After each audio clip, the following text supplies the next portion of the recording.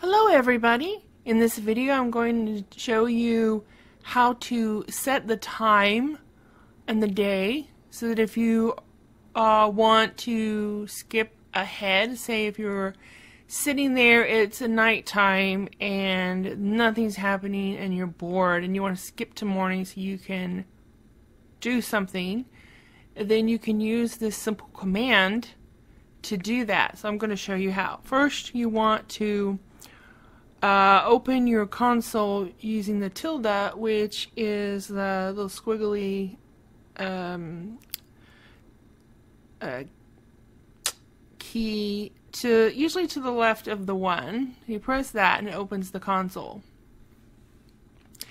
Then you type in in uh, set time one word space, and then you're going to type in a number. Now the number is going to indicate the day and hour. So, um, day one at midnight would be 000, 000, 000, or just 0. I'm just going to put in 0.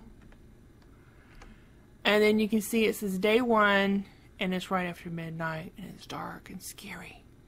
Right? And if there's any zombies around, they could come get you. Oh no! And let's say you want it to be morning. So you type in set time uh, 4000 for 4 a.m. Do that, and you hear the morning chime, and it's now morning, and you can go about your day, and the zombies are no longer running. Assuming you're playing on default settings. Okay, now when you get to other days, it gets a little bit more tricky. Because uh, day two uh, at midnight is going to be 24000. And so you can see it is midnight on day two. But if you want it to be morning on day two, you can type in set time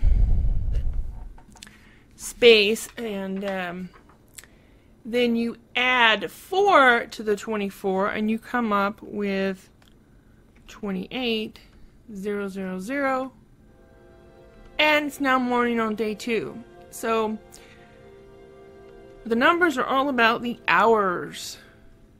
How many hours has it been since the game started? So I'm going to put a chart on the screen. It's going to show you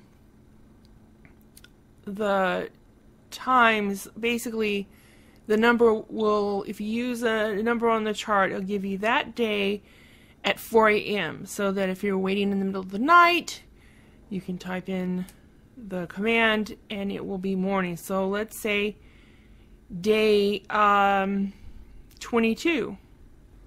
Let's do day 22. Set time, space, and it's going to be 508000 and you hit enter and it's now day 22 at 4 a.m. Now the 4 a.m. is I use an 18 hour day. If you use a different um, you know, if you have a different day length, it'll be different. But me and most of the people I know use 18 hour day, so that's what I'm basing this on.